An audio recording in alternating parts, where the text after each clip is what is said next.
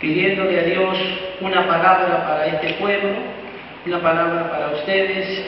Eh, después de mi familia, lo más importante es la obra del Señor y mis hijos. Y en este momento, para mí lo más importante es usted. Por eso es que el Señor me dio un mensaje y este mensaje lleva como título Dios es un Dios de procesos. Aleluya. Póngale la mano en el hombro al que tiene a su lado y dígale, el Dios que tú sirves es un Dios de procesos. Y tu vida está en un proceso que terminará en un gran suceso. Si alguien lo cree, alabe al Señor. Denle un aplauso fuerte. Aleluya. Bendito sea el Señor. Vamos a leer en dos partes. Primera parte en, Salmo 50, versículo 5, a modo de introducción. Salmo 50, versículo 5.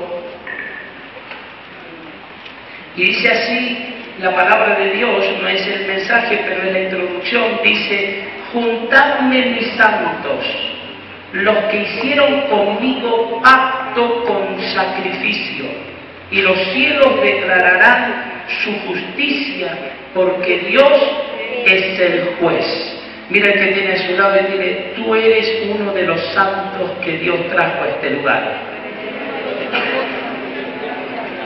Y que hicimos pacto con Él. ¿Sabe? Que la palabra pacto también significa compromiso.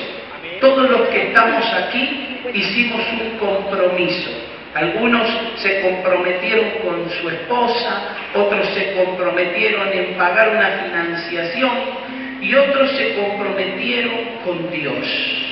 Y a pesar de las pruebas y de las luchas y de las dificultades, lo único que ha mantenido nuestro caminar es el compromiso. Sin compromiso no hay objetivos cumplidos, pero cuando hay un compromiso, todo lo que hacemos, a pesar de las luchas, de las pruebas, de las dificultades, de las cosas que tengamos que enfrentar, el compromiso que hicimos con Dios nos hace estar aquí. ¿Cuántos dicen gloria a Dios? Y fíjese que a veces tantos problemas, hoy veía a mi hermano como él motivaba al pueblo para que podamos alabar a Dios, para que podamos adorar a Dios. Y se dice que el hombre, que los niños principalmente ríen 245 veces. Todos los niños en el día ríen 245 veces. Y dice que los adultos, los más que están con todo el power, con toda la alegría, lo hacen 15 veces. Y dice que los que son medio, medio tanque, medio motor, este, lo hacen 7 veces. Y los más enojones y cara larga de caballo lo hacen dos veces.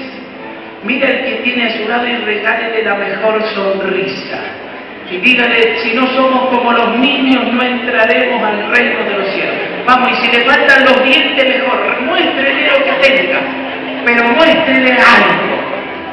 Decía ese predicador, sonríe que Jesús te ama. Denle un aplauso al Señor, alaba.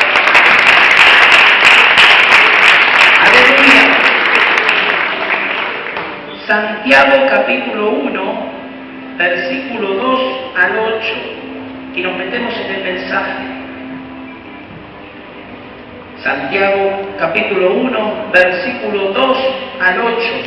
Este mensaje dice, el Dios de los procesos. Dios es un Dios de procesos. Y dice así la palabra de Dios, Santiago 1, versículo 2, y lo leemos en el nombre poderoso de Jesús. Alguien puede decir amén bien fuerte. Hermanos míos, tened por sumo gozo cuando os halléis en diversas pruebas, sabiendo que la prueba de vuestra fe produce paciencia, mas tenga la paciencia su obra completa, para que seáis perfectos y cabales, sin que os falte cosa alguna. Si alguno de vosotros tiene falta de sabiduría, pídala a Dios, el cual a todos abundantemente y sin reproche, y le será dada. Levante su mano y diga conmigo, Dios me va a dar toda la sabiduría. Pero como cuando grita en casa, bien fuerte, diga, Dios me va a dar toda la sabiduría. Toda la sabiduría de lo alto. Diga conmigo, inteligencia espiritual, inteligencia emocional, sabiduría divina para vencer todo obstáculo en el nombre de Jesús. Alguien diga amén. Y dice la escritura, pero pida con fe, no dudando nada, porque el que duda es semejante a la onda del mar, que es arrastrada por el viento y echada de una parte a otra. No piense pues quien tal haga que recibirá cosa alguna del Señor. El hombre de doble ánimo es inconstante en algunos caminos, dice así. Dice en, dos o tres caminos, dice así. Dice en todos sus caminos. Póngale la mano en el hombre que tiene a su lado, vamos a orar. Para que usted pueda recibir este mensaje. En estos minutos usted pueda comprender algunas cositas que están sucediendo en la iglesia. Ahí cierre sus ojos, por favor. Señor eterno, te damos gracias.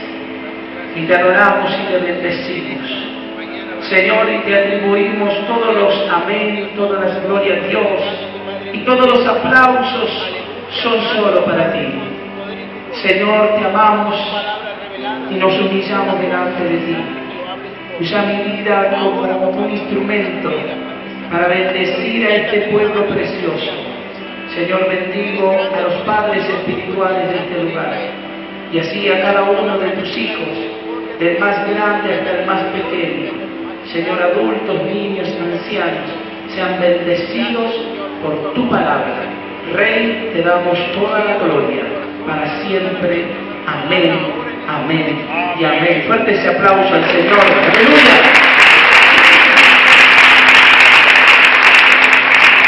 La fe que no es probada es fe no confiable.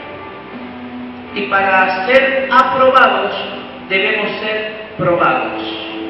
Nuestra fe debe ser sujeta a pruebas y sometida a pruebas. El Dios que tenemos nosotros es un Dios de procesos. Y el Dios que tenemos está más interesado en formar el carácter de Cristo en nosotros que en resolver el problema. Esto no quiere decir que Dios no está interesado en resolver tu problema. Dios lo puede resolver en un abrir y cerrar de ojos. Dios lo puede hacer de repente, Dios lo puede hacer apresuradamente. Pero Dios está esperando en nosotros que tengamos un carácter, el carácter de Cristo. Póngale la mano en el hombro al que tiene a su lado. Vamos, dígale, no tu carácter podrido, dígale, sino el carácter de Cristo. No tus enojos, dile, no tus enojos, ni tus chispitas y polvoritas, dile, sino el carácter del Espíritu de Cristo sobre nosotros. Alguien diga amén a esa palabra. Las pruebas son todas temporales.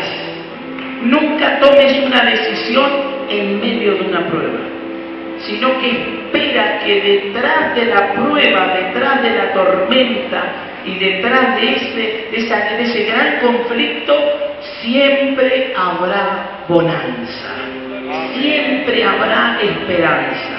Jamás la noche más oscura pudo vencer al amanecer. Siempre, por más difícil que sean las cosas, siempre hay un propósito. Y ese propósito es que nosotros seamos creadores de ambientes. Levante su mano y diga, yo soy un creador de ambientes. Que podamos ser también gente que activa a otras personas. Por eso es que hay cinco características de una fe madura. Número uno, para los que toman nota, no necesito sentir para creer. No necesito tener un sentimiento ni que mi cuerpo se estremezca para saber que voy por el camino correcto y que las pruebas son mi edificación, son mi preparación, que las dificultades son mi entrenamiento. ¿Quieres que te diga algo? Tu mayor bendición son los que te han hecho la guerra. Tu mayor bendición son los que han puesto palos en el camino. Tu mayor bendición son esas luchas que has enfrentado. Hoy no hablaríamos de un David si no hubiera un Goliat que se paró delante de él. Imagínense, hoy hay gente que tiene que enfrentar un Goliat y le dice, Dios, sácame a este gigante. Y Dios dice, yo no te lo puedo sacar, porque primero te puse al león, después te puse al oso, ahora te puse al gigante. Y cuando derribes al gigante, te voy a mandar a los saúles. Ay, alguien diga esa palabra. Porque Dios nos va preparando, así es para Dios, desde lo fuerte. Dios nos va preparando.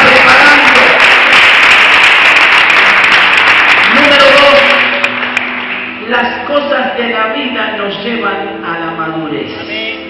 Todo lo que pasamos. Hay gente que dice, ¿para qué nací? Otros dicen, ¿cuándo me voy a morir? Otros en el matrimonio, ya más tristes, le dicen a la esposa, si yo llego a faltar, ¿quién de los dos se va a ir primero? Mire, deje de andar sacando cuentas y de andar viendo esas cosas. Yo en Argentina ya vi demasiado a Verónica Castro y a Natalia. Salga de esa novela. Diga conmigo, voy a salir de esa novela. Diga, mi historia va a terminar bendecida. No, pero dígalo fuerte, declaro, mi vida y mi familia terminarán en victoria. El problema es que a veces somos actores de reparto y no protagonistas de una historia que en el libro personal de Dios Él escribió. Él escribió cosas de nosotros que iban a acontecer. Número tres, las pruebas y las dificultades, lo único que Dios permite es que lleguemos a ser fieles, obedientes y leales. Alguien dice por ahí, pero ¿para qué las pruebas? ¿Para qué Dios me prueba? ¿Por qué Dios viene a probarme? Usted sabía que Dios prueba, diga conmigo, Dios prueba y el diablo tienta. Diga conmigo, la palabra tentación significa examen. Entonces Dios me prueba, diga, diga vuelta, Dios me prueba y el diablo me lleva al examen. Y Dios dice, a ver si aprueba el examen.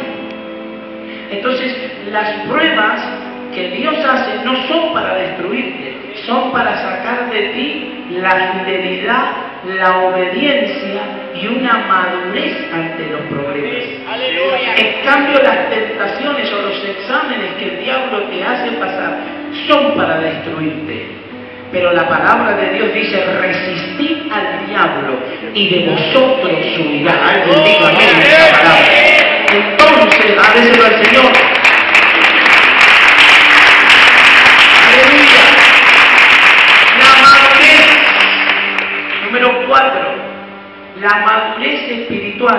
no necesita la aprobación de todos. Hay gente que necesita la aprobación de alguien para sentirse bien. Su fe todavía está conectada a los sentimientos. Tú no necesitas la aprobación de nadie. Tú tienes que estar seguro que aunque un millón se paren en contra de ti, tú vas a terminar bendecido, prosperado y en victoria. La conciencia te hablará, la mente te pedirá explicaciones, el corazón pedirá consuelo, pero tu espíritu estará parado en la palabra. Y esa madurez que está en tu espíritu no necesita la aprobación de los demás. Tú tienes que saber quién eres en Cristo Jesús. Aleluya. Aunque todo pareciera tormenta y dificultad, esta prueba es tu mayor bendición. Alguien debe un aplauso al Señor, alábelo por favor. Aleluya. Y una madurez es una fe que alcanzó el nivel mayor de todas las cosas. ¿Y sabe cuál es el nivel más grande de fe? Es que yo no necesito sentir, yo no necesito que me pongan la mano, no necesito caerme al suelo, no necesito danzar, no necesito nada. Yo estoy en un nivel que aunque haya al lado un ejército de brujos y al lado un ejército de demonios, mi fe es como una llama de fuego. Nadie puede apagar ese fuego. Mi fe me lleva más allá de lo que mis ojos pueden ver. La fe sobrenatural. Aleluya. La fe sobrenatural no debe ser un evento, sino debe ser algo cotidiano. La fe sobrenatural, muchas, muchas personas viven sobreviviendo, tratando de alcanzar algo. Sin embargo, la fe nos lleva de gloria en gloria y de victoria en victoria. Pero ¿cuál es el problema? Santiago lo dice. Él dice que el hombre inconstante, él no puede entrar en este canal. Entonces tenemos mucha gente en las iglesias que están en este canal, en el canal de gloria en gloria, y ven a los demás como locos dicen, ¿será que es así? Tanto será. Y otros que están en un canal de, espíritu de inconstancia. Miren, una persona de doble ánimo, quiero que le ponga la mano en el hombro al que tiene llorado y dígale, ahora vamos a hablar de un primo cercano a ti. Quiero que escuches bien. Las personas de doble ánimo tienen doble mentalidad escúcheme lo que le voy a decir. Mire, tienen la cabeza partida. Mire, la, mitad están en positivo, la mitad están en negativo. Son dos personas que viven dentro de sí mismos. Número dos, son inconfiables y son impacientes. Una persona de doble ánimo no tiene paciencia, no logra producir la prueba de la paciencia. ¿Sí? ¿Y qué significa paciencia? Usted dirá, saber esperar. No, es tener paz y ciencia, es tener la ciencia de Dios en la paz de Jesucristo para resolver el problema en la intervención divina del Espíritu Santo. ¡Aleluya! No es que usted tiene, tiene a alguien que le hace la vida imposible 55 años y Señor dame paciencia hasta que muera. No, sino tener paz tener la ciencia de Dios para la intervención del Espíritu Santo y poder operar. Alguien diga amén. También eh, características de estas personas tienen periodos de depresión, sufren periodos de depresión, caen en, pozos de tristeza, en pozos de amargura y de, y de abandono, que nadie me quiere, que nadie me llama, que nadie se preocupa por mí, el hermano no me saludó, pasó por al lado mío, el pastor me parece que tiene algo contra mí porque me, hizo así y resulta que el pastor tenía una lagaña en el ojo y estaba así y él piensa que, que no lo quiere. Dígale al que tiene solo te están hablando a ti. Número dos, tiene cambios de humor repentino. Están contentos, están saltando, están felices y de repente apareció el increíble Julio. El quincón que llevan adentro salió de la jaula y vino el desastre. Tercero, quiero soltarte algo de dos armas que el enemigo está usando en este tiempo y le está usando en este 2014. Dos armas que las usa de adentro de la iglesia para, para destruir a los soldados y no que vienen de afuera, ¿sí? sino que vienen de adentro. Número uno se llama desánimo. La gente anda desanimada. La gente se desanima. ¿Por qué? Por, no estar en el canal correcto. ¿Sabes cuál es tu canal correcto? En Cristo Jesús. Y como a veces andamos en el ego personal, a veces andamos en Juan Carlos, en María, en Alejandro, a veces andamos en otros canales y no en el canal correcto, todavía hay gente que le hace mal que no lo quiera. Tenemos gente que todavía está herida porque otro habla mal de ti. Agarrarle el cachete que tenía tu lado por favor, decirle despertar, ¿quién te cree que son la cenicienta? Que la Biblia prometió, o la Biblia nos enseña a lo largo de las escrituras, que al que tienen que amar es a Jesús porque usted y yo no fuimos a la cruz. El que fue a la cruz es Jesús. Entonces es mejor que no te quieran, pero que lo quieran a Él. Porque Él es el que le dio la vida y Él es el que le dio la salvación a todo el mundo. Alguien dice, pero la salvación es gratis. Yo le digo, mire, piense bien lo que habla. La salvación no fue gratis. Le es gratis a usted y a mí, pero el Padre pagó con el Hijo por ti y por mí. Nada es gratis en la vida. Mire, y número dos, la más poderosa, en la que el diablo es como su arma, una Magnum 44, este, cubierta con piel de víbora, vio que es diabólico, con piel de víbora, esa es el arma de Satanás. Y se llama postergar. Postergar significa detener. Vamos, quiero que lo aprendaría conmigo. Detener. Frenar. Dejar para otro día. Y en hebreo significa hacer caer por tierra. ¿Sí? Entonces cuando alguien posterga, por más que acá le, prediquemos o vengan los mejores predicadores, y ustedes tienen a uno de los mejores predicadores cuando dicen amén. El asunto no va a estar en el predicador, ni en el que canta, ni, ni en seis Marcos Witt y ocho Marcos Barriento que le alaben a Dios, sino en que usted posterga. Entonces, ¿qué postergar es dejar para mañana? Y fíjense cómo nos damos cuenta que alguien posterga. De repente el esposo le dice a la esposa, o la esposa le dice al esposo, amor, ¿hace cuánto que nos casamos?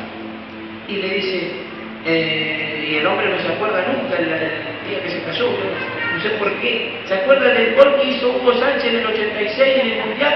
O el gol de Chicharito, pero no se acuerda de cuándo se casó. Y ya, ya hace mucho tiempo que estamos juntos, amor. Le dice, viste que cuando nos casamos la, casa nuestra, en la cocina la pintamos de verde y ahora ya no es verde, ya no se sabe qué color es. ¿Y cuándo la vas a pintar, mi amor? Y el esposo le dice, diga conmigo todo junto, mañana. La esposa le dice al marido, amor, ¿te acordás que compramos este terreno y nos vinimos de provisorio? Ya, la nena tuvo el bebé, ya somos abuelos. ¿Viste esa lamparita que está ahí arriba? Sí. ¿Viste que está con dos cables así había cinta, dijiste, mañana le voy a poner la cinta aisladora. Es un peligro, algún nene puede tocar y puede quedar electrocutado. ¿Cuándo vas a arreglar eso, mi vida? ¿Cuándo? ¿Todos juntos? Mañana. Amor, cada vez que entro a la puerta tengo que ser Rambo y Jean-Claude Van Tengo que pegar una puerta porque siempre raspa abajo. Y la manija gira para todos. El agua, cuando abro la llave, sale para arriba, sale para abajo, sale para el costado, me chorrea por allá. ¿Cuándo lo vas a arreglar? Amor, llevamos 14 años de juntado, ya tenemos dos niños. ¿Cuándo nos vamos a casar? Y aquí hay mucha gente que lo espiritual ha recibido un llamado de Dios, pero ha usado esta arma que se llama postergar. Y ha postergado su llamado. ¿Sí? Y ha postergado su ministerio. Y ha postergado su servicio en la obra de Dios y aquí en la iglesia. Todo por postergar. Diga el que tienes a tu lado, este mensaje no es para ti. Dile, vamos. Es para mí, es para mí. ¿Cuántos dicen amén? Y postergar trabaja con dos amigos. Estamos bien con el tiempo, ¿no? Una menos cinco. Trabaja con dos amigos. Dile, agárrale el cachete, pues yo creo que participo, vamos. Si es gordito, mejor. Agárrale el cachete, dile. Postergar, dile. Trabaja con dos amigos. Uno de ellos se llama espíritu de víctima. Y el otro se llama excusas. Míreme a mí, déjele liberado el cachete. Mire, número uno, excusa significa cueva de víboras. Y cuando alguien presenta una excusa, está presentando una estrategia para no quedar mal parado. Postergarlo deja para mañana, lo que hoy tenía que hacer. Entonces necesita una excusa para que su plataforma no se derribe y quede mal parado. Las excusas no sirven en la presencia del Señor. Diga conmigo amén.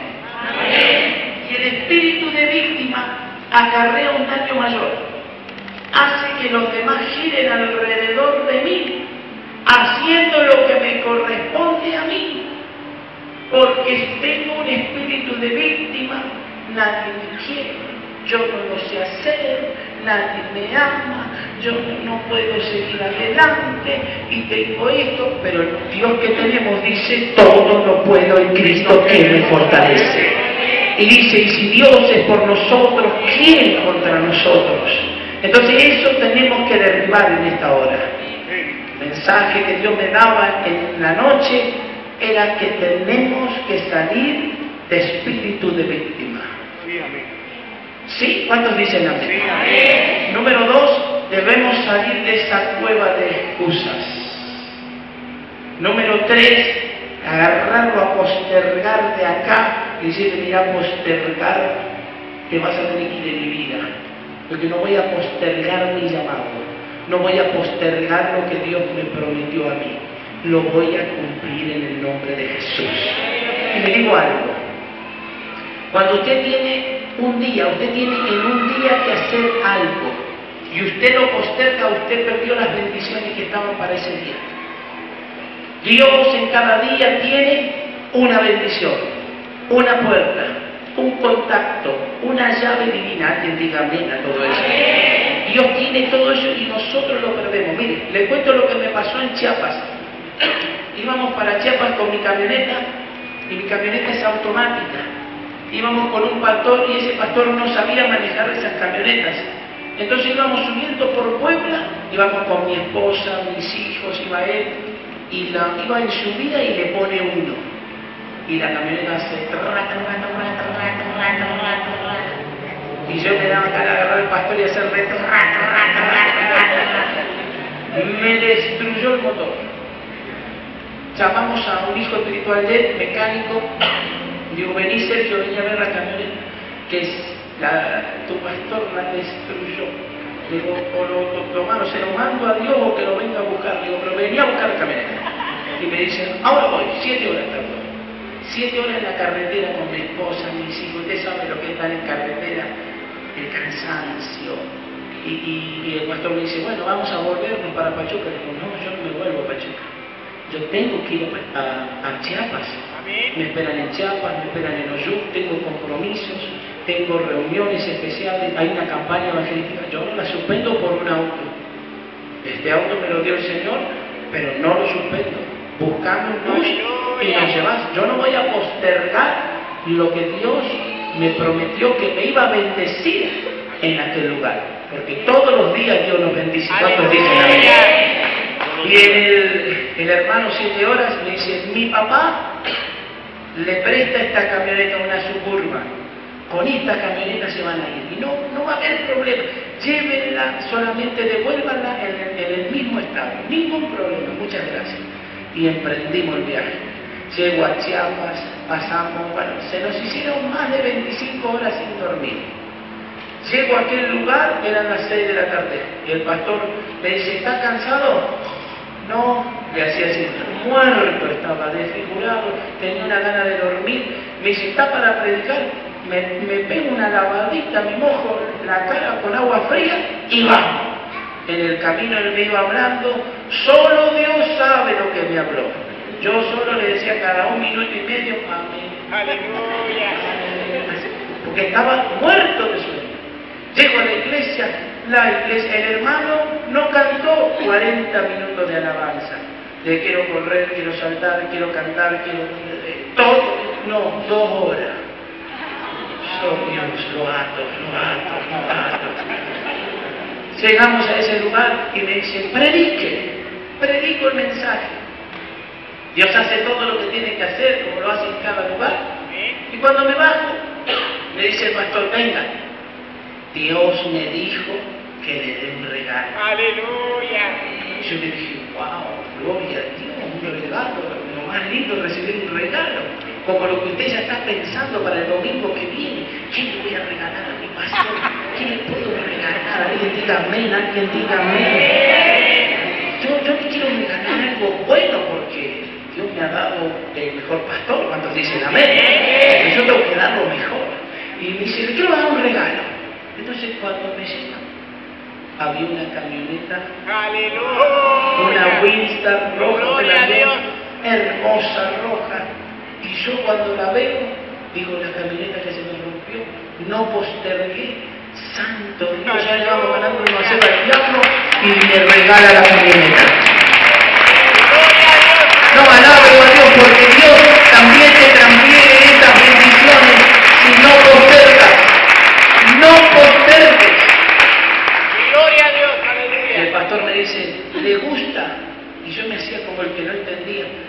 ¿El qué? Le digo, una camioneta enfrente.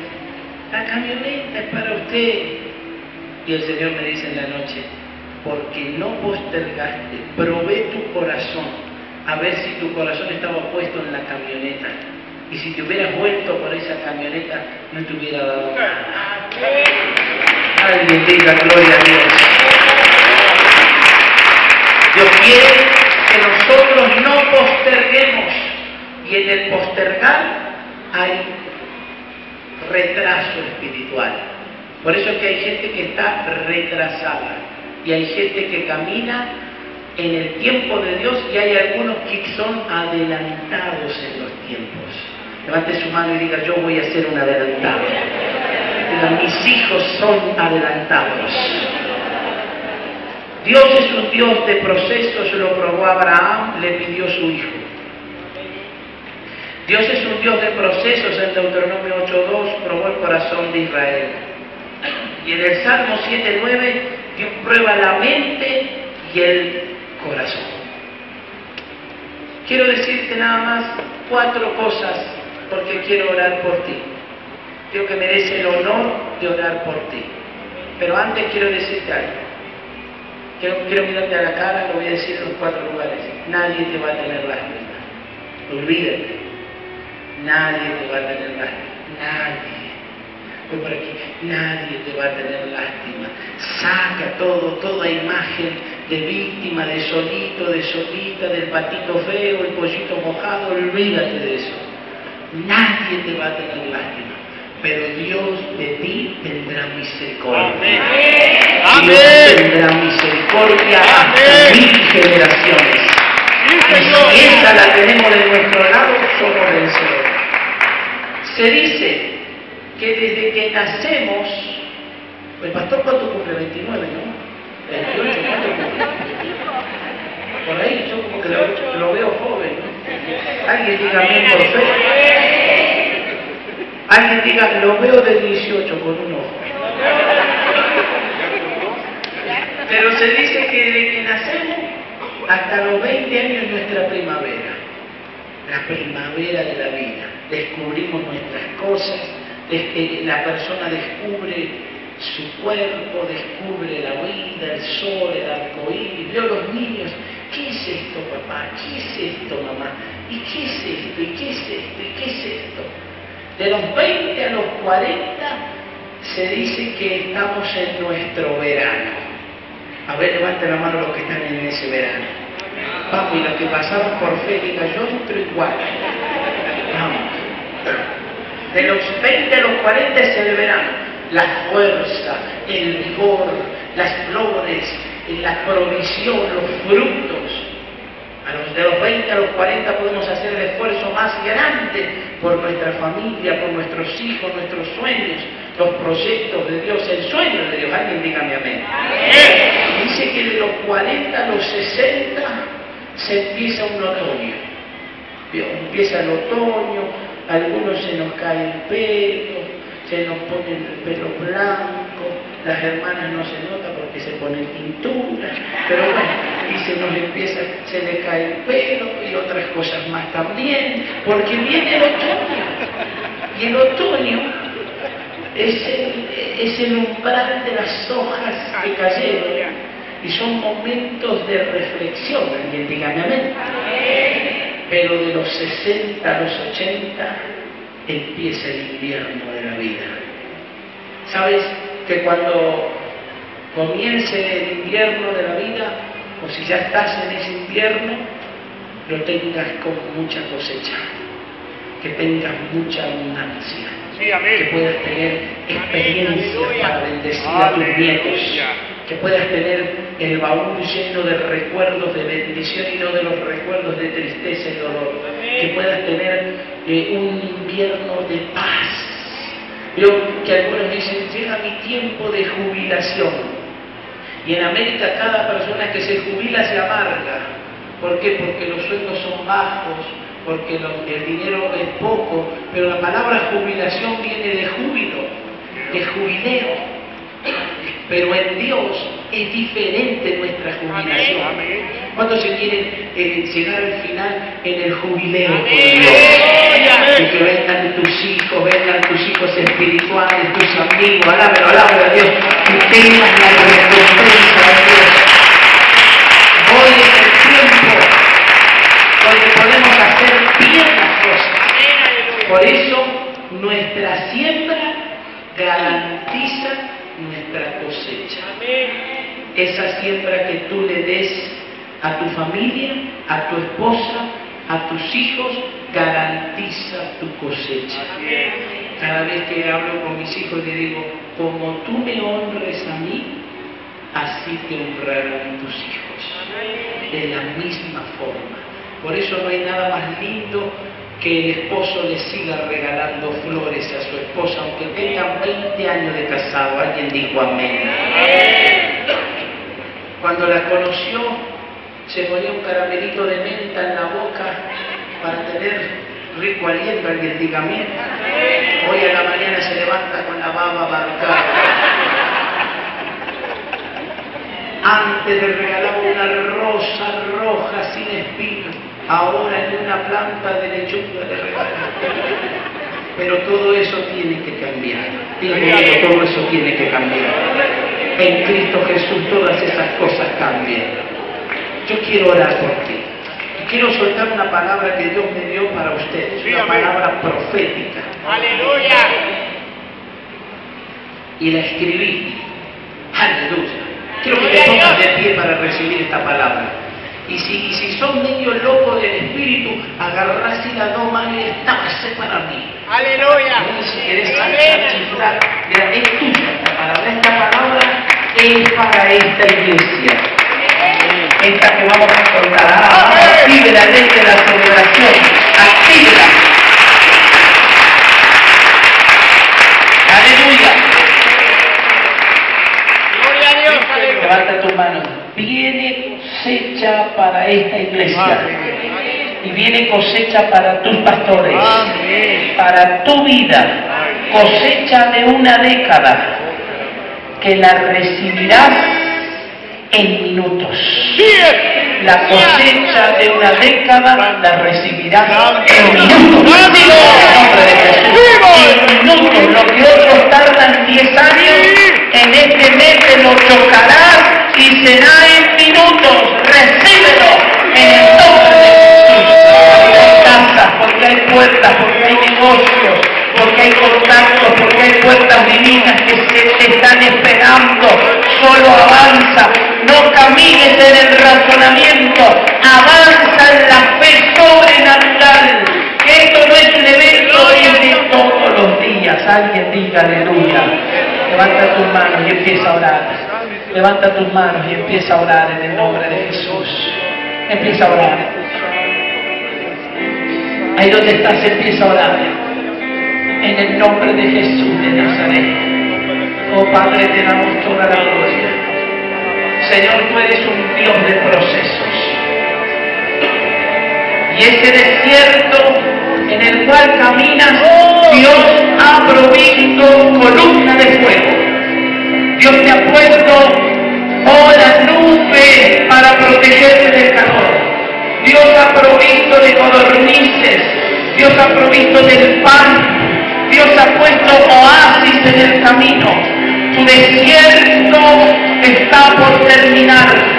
Y alguien dirá mañana y criticará quizás tu tierra prometida porque no sabe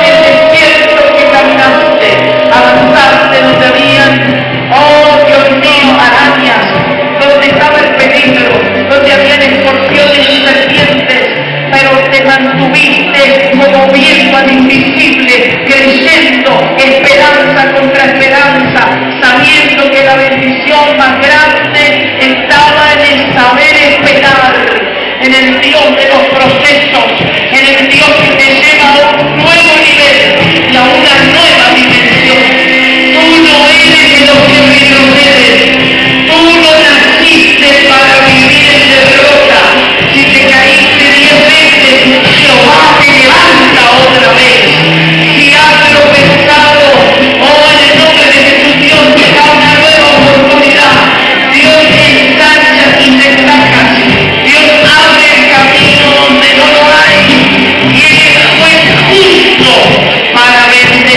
Tu familia, tu casa, tus sentimientos y tu hogar. En el nombre de Jesús,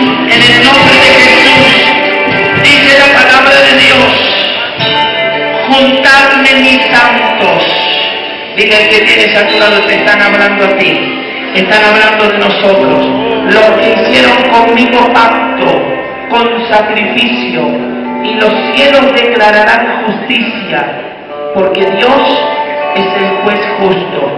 Mira mi mano, Dios saca tu causa de abajo y la pone arriba. Hoy Él hace esto. Él saca tu expediente de abajo y lo pone arriba. Él dice, júntenme a mis santos, los que un día hicieron pacto y compromiso conmigo. Yo pondré a los cielos por testigo y seré juez de ellos. Seré juez justo y traeré el dictamen divino sobre la familia. Yo quiero que hagas un acto de fe.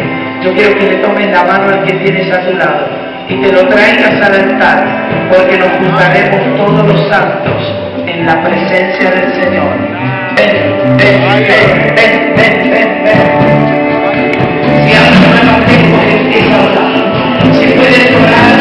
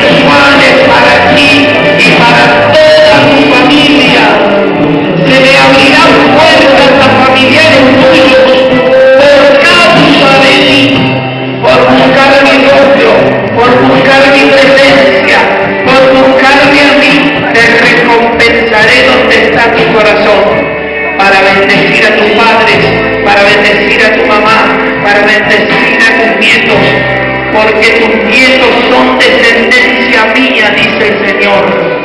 Son míos, son el aceite fresco de la unción. Levanta tus manos, mueve tus manos. Si puedes saludar las bendiciones que están viniendo por fe. Si puedes hacerlo.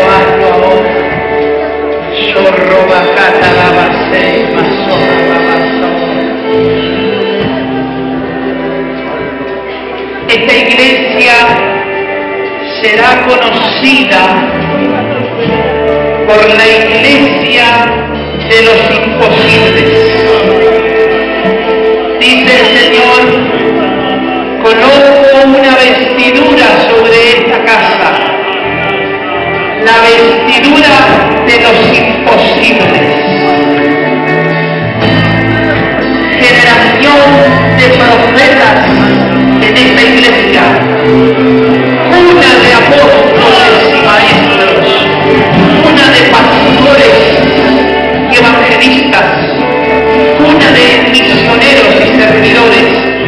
Dios levanta una estirpe nueva en este lugar, una raza, con una mentalidad diferente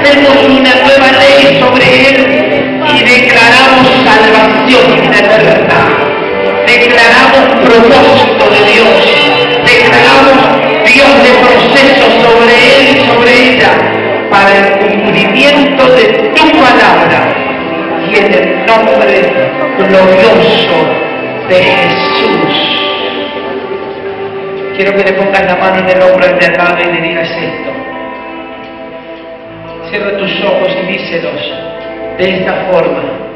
Número uno. Dile, número uno. Antes que nacieses. Y que estuvieses en el vientre de tu madre, ya Dios te había apartado, Dios te había apartado, te había bendecido. Te había bendecido, y había colocado un destino profético Dile, tú eres una bendición para mí. Y como Dios te regaló a las naciones, para mí eres un regalo. para mí eres importante. Y decreto sobre ti que en minutos cosecharás lo que se cosecha en décadas. Lo vas a recibir, Lo vas a disfrutar y lo vas a compartir. Solo creo, lo creo. declaro sobre tu vida. En el nombre de Jesús. Amén. Amén. Amén. Amén. Amén.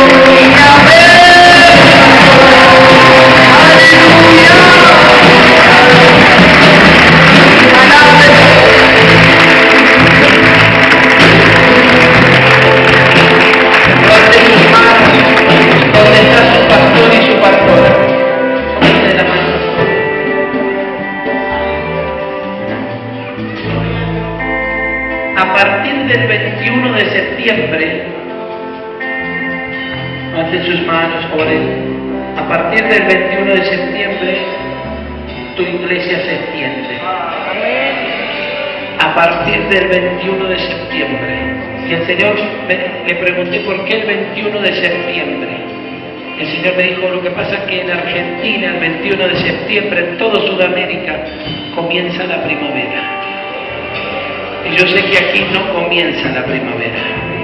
¿No? Aquí que comienza. Pero aquí que comienza el 21. El otoño.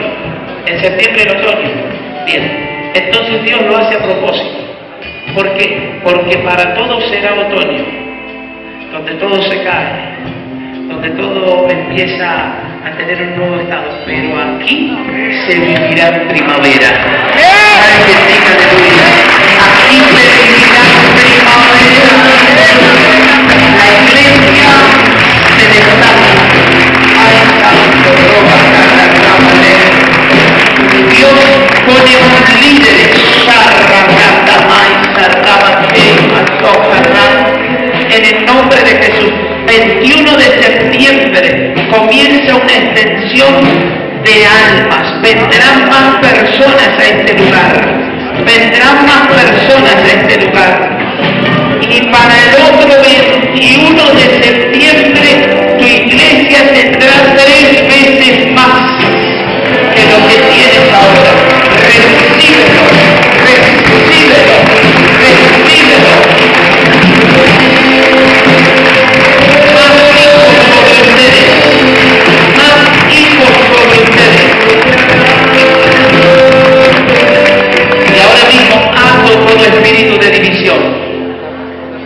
Espíritu de división lo ato en el nombre de Jesús.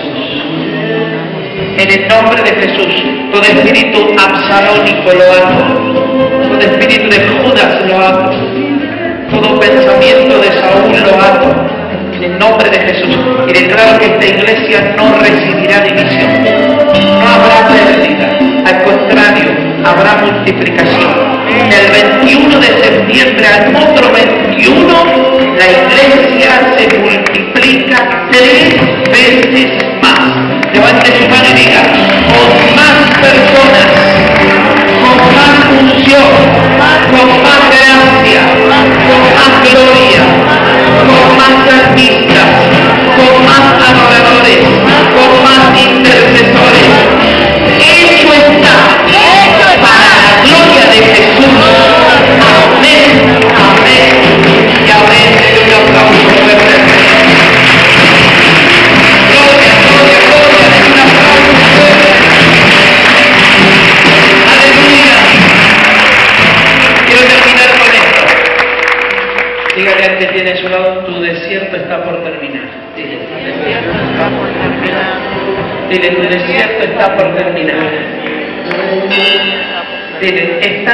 Dios, dile, es tan grande, Dios, que en tu desierto te ha puesto aire acondicionado, Te ha puesto aire te ha puesto la columna, Te puso el oasis por si tenés sed, te manda las codornices y el pan todos los días.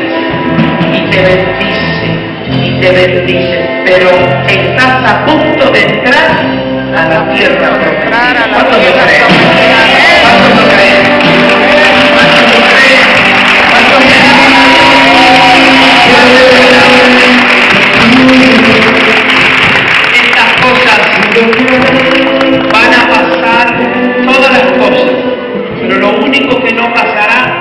La palabra que te da dirección para llegar al final. Quiero decirles algo.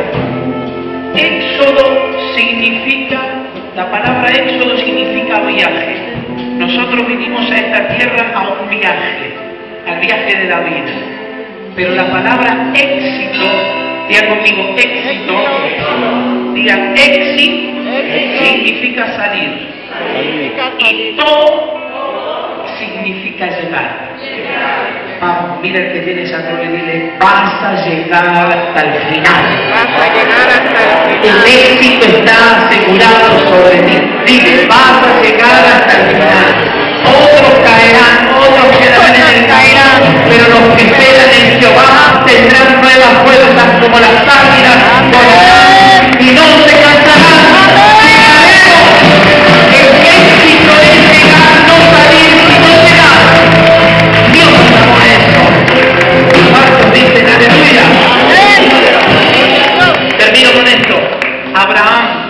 Le dijeron, ahí anda el hebreo. La palabra hebreo no significa solamente una nacionalidad. La palabra hebreo significa el que cruzó al otro lado. Y Jesús le dijo a sus discípulos, crucemos al otro lado. Hoy yo vengo a decirte esto. Mira, da vuelta la página. Crucemos al otro lado. Demos vuelta la página. Crucemos al otro lado. Todo esto que está aquí es parte del pasado, pero todo lo que está aquí todavía no se escribió. Tenemos mucho que hacer, tenemos mucho que conquistar, tenemos mucho que predicar, tenemos mucho que anunciar.